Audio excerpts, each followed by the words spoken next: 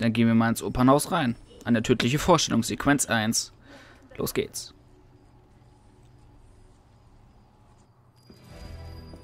Einladung bitte.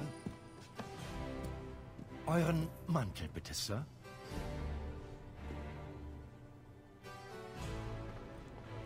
Der Schuster. Ein wirklich guter Mann mit einer schönen Singstimme. Ich Ladies und Gentlemen, wenn ihr nun bitte eure Plätze einnehmen würdet. Mache ich doch gerne.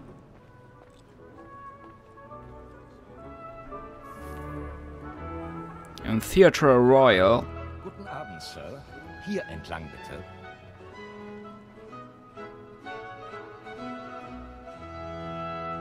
Oh, verzeiht bitte.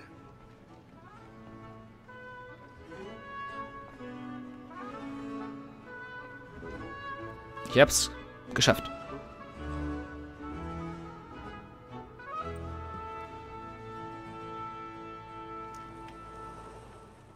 Abend, Hatham. Reginald? Ich kann euch gar nicht sagen, wie froh ich bin, von dieser Wiederaufführung zu hören. Mit Abstand Gays beste Arbeit. Habt ihr es bereits gesehen? Einmal. Mein Vater nahm mich als Kind mit. Doch ich erinnere mich kaum daran. Und ich fürchte, dass ich mir diesen Luxus auch heute nicht gönnen werde. Nein, da habt ihr wohl recht. Dann weiter zum Geschäft. Seht ihr ihn? He's thinks his trade as honest as mine.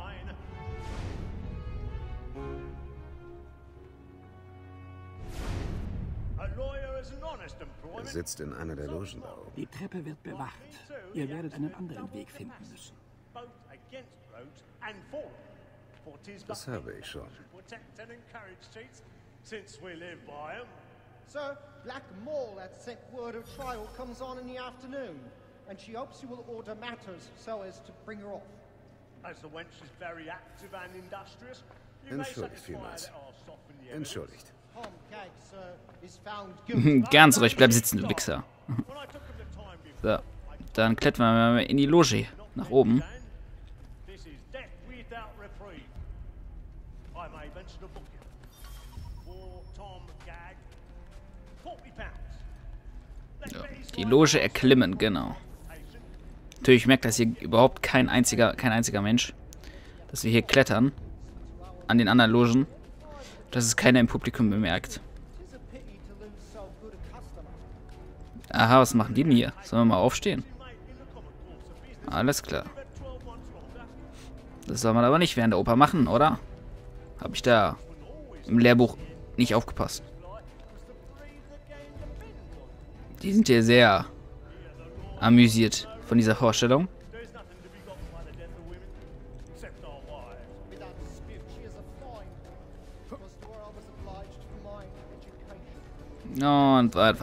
to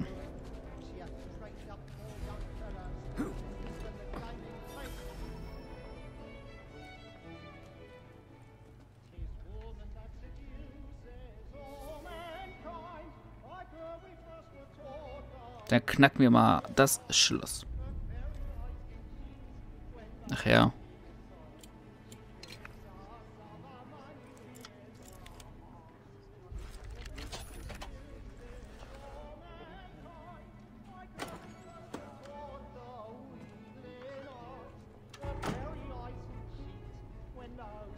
Das war mal sehr kompliziert irgendwie.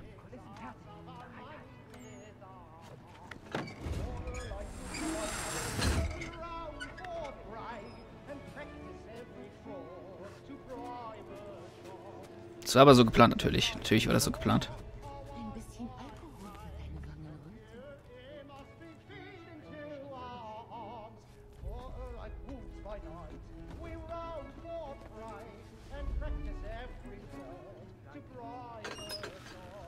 Hafen, Junge. Bestimmt doch keiner gemerkt.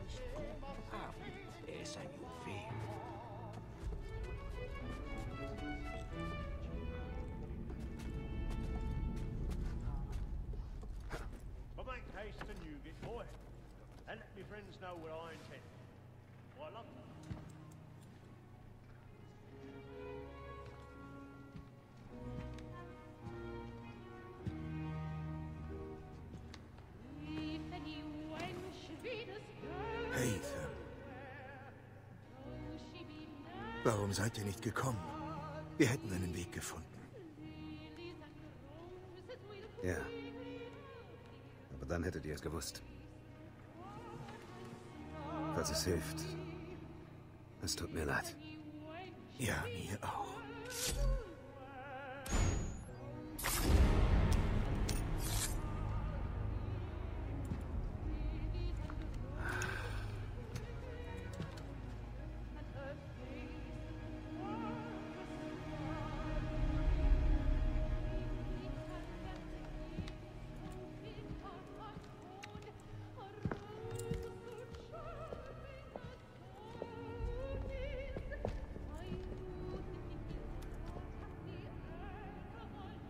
Dann hauen wir mal ab. So schnell wie möglich.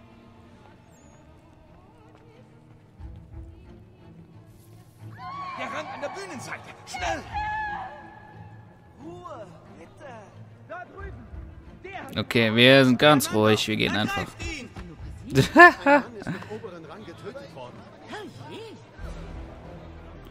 ah, wie lustig, ja. Verzeiht bitte, Madame. Habt ihr irgendjemand nicht drängen? Bitte. Ich kann hier gar nicht schnell genug raus.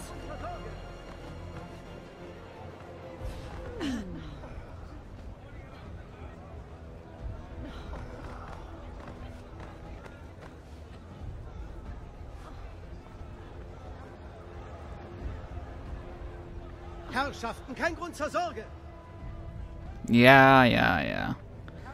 Ey, ihr habt nichts gemacht. Wie kommt ihr nur darauf? Es ist dort auf dem Rang geschehen. Was machen diese Männer da drin?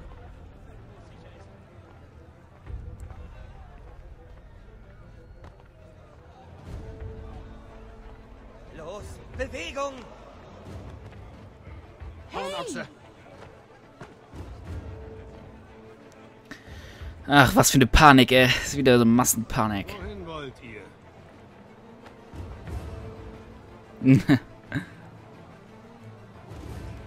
Wie einfach jeder verdächtig wird, außer ich. Denn da? Willst du Klinke spüren oder was?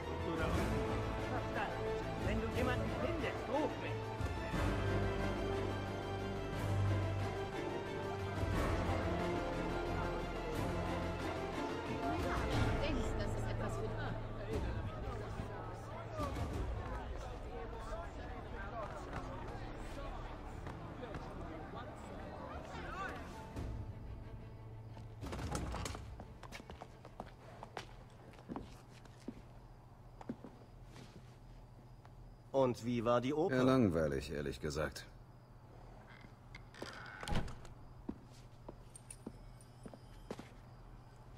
Sollen wir los dann? Ja.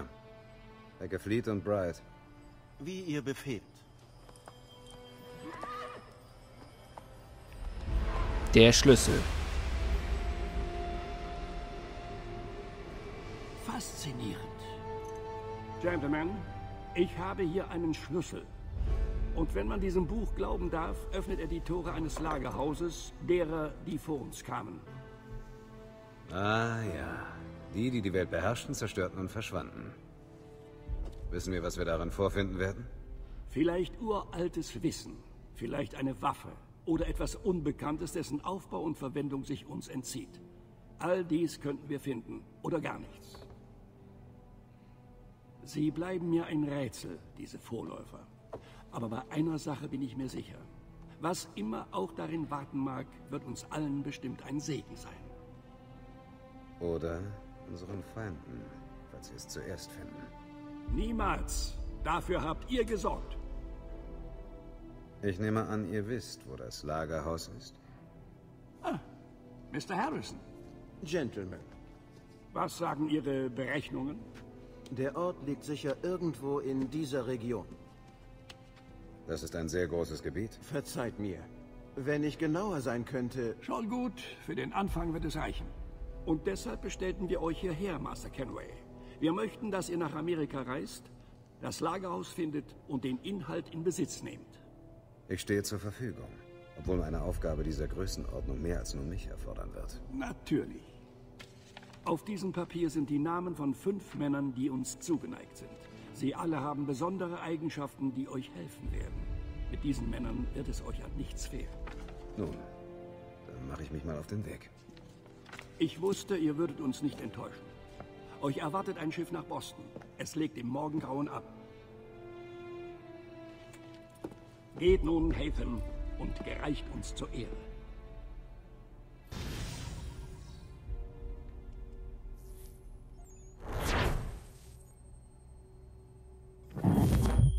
Volle Synchronisation, Sequenz 1. Haben wir jetzt schon Sequenz 1 beendet? Man könnte sagen, ja.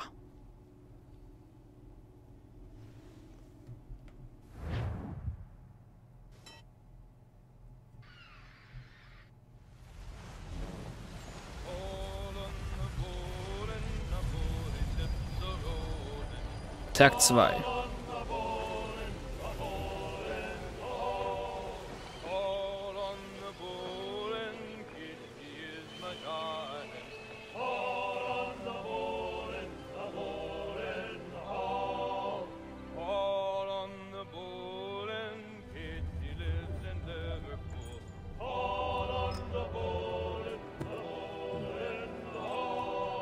frische Luft wird gut tun.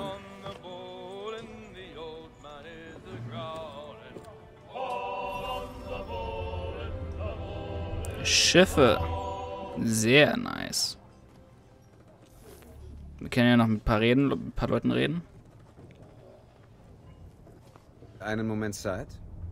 Ah, noch ein London. Schön zu sehen, dass noch ein Mann mit Manieren an Bord ist. Rupert Martin, hocherfreut. Hatham Kenway. Angenehm. Anscheinend haben wir die Stadt zur rechten Zeit verlassen. Ja? Habt ihr etwa nicht von dem Mord im Opernhaus gehört? Nein. Was ist geschehen? Das wird zurzeit noch untersucht. Und ich schätze, das wird noch eine Weile in Anspruch nehmen. Kennt man schon das Motiv? Jedenfalls war es kein Raub. Also vielleicht ein Geschäft, das schiefgelaufen ist. Oder etwas Persönliches. Könnte sein etwas Schlüpfriges, wer weiß. Aber ich bin froh, dass ich nicht dort bin. Die Stadt wird mit jedem Tag gefährlicher.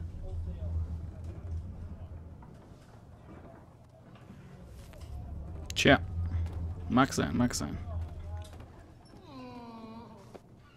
Guten Morgen, Doktor. Euch ebenso. Eine Frage, wenn ich darf. Arbeitet ihr hier an Bord oder seid ihr nur ein Passagier?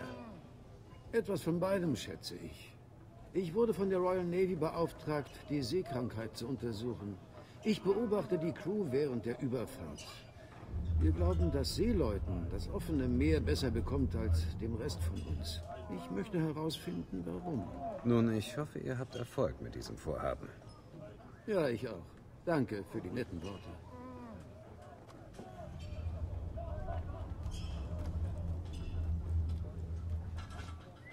Ja, würfeln kann man ja auch noch. Hochgehen müssen wir, ne? Hier hoch können wir nicht.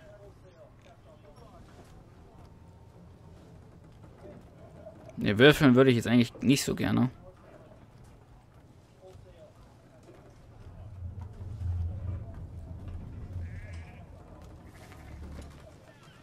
Der gute alte Atlantische Ozean. Captain, Mr. Kenway. Ich wollte mich bedanken, dass ich an Bord kommen durfte. Und für die Unannehmlichkeiten entschuldigen, die ich euch bereite. Unannehmlichkeiten wäre noch untertrieben. Verzeiht, ich kann nicht folgen. Mein Schiff wurde zwei Tage im Hafen festgehalten, um auf euch zu warten. Ich habe deshalb mehrere Aufträge verloren. Davon wusste ich nichts. Natürlich nicht. Ihr Adligen seid alle gleich.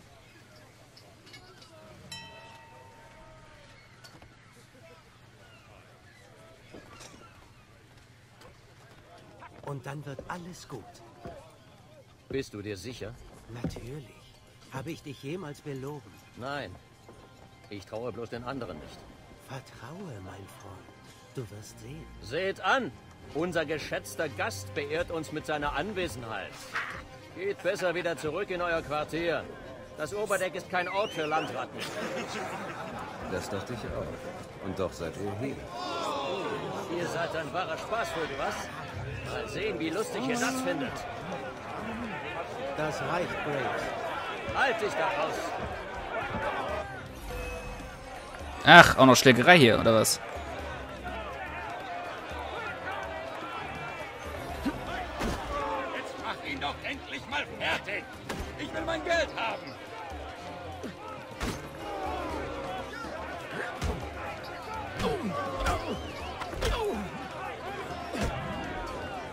Hör dir das an, Hector. Glaubt, er kann hier so rumstolzieren und sich zum Burgherren erklären. Bitte, Jungs, lass das sein. Wenn der Captain uns Zur sieht... Hölle mit dem Captain. Und zur Hölle mit dir, Mills. Auf wessen Seite stehst du überhaupt?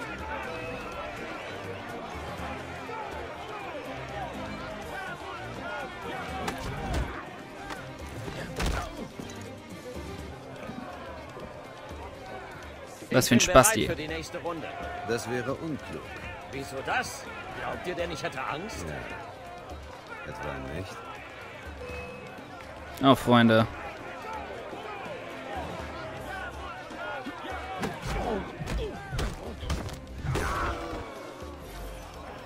Gebt Oh, bist du scheiße.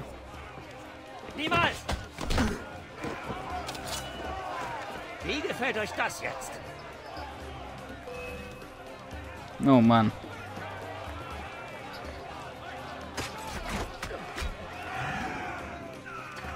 Was hat das zu bedeuten? Captain, Ich verlange eine Erklärung, Mr. Kenway. Diese mich... Wir haben nur etwas Sport gemacht zum Zeitvertreib, Captain.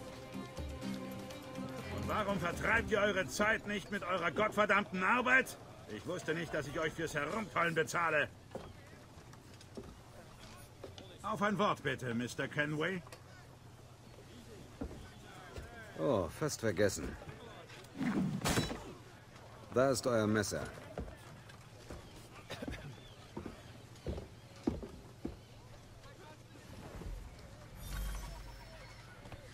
Ihr seid mir egal, Mr. Kenway. Ich hatte nur Ärger, seit ihr an Bord gekommen seid.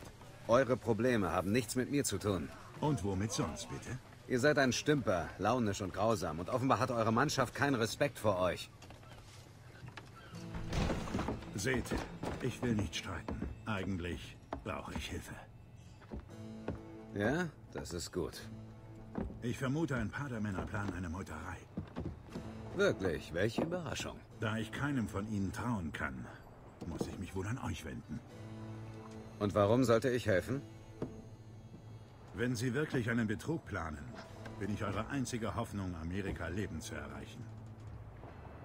Nun, wie sieht es aus? Wenn ihr die Wahrheit sagt, welche Wahl habe ich denn dann? Danke euch.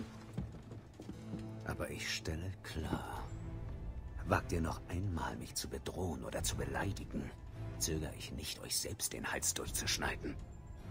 Verstehen wir uns? Exzellent. Guten Tag.